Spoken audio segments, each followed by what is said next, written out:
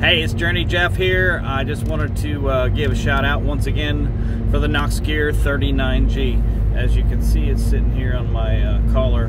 Um, in fact, the sound you hear is coming from that.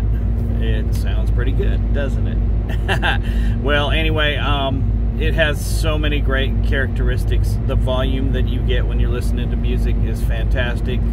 Um, the voice on the other end of uh, when I talk to somebody on the phone, they tell me that my voice is more clear than it ever has been with a regular like headset.